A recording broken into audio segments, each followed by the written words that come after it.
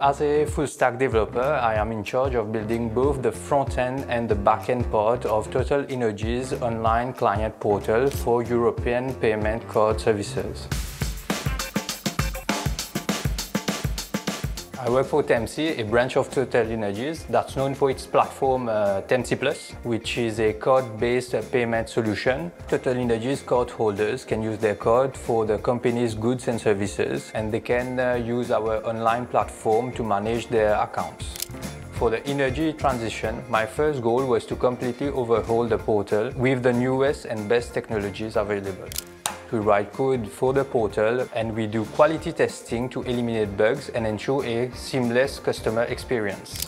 My passion is writing code, learning new tech, which is why I love what I do and I wouldn't change it for anything in the world.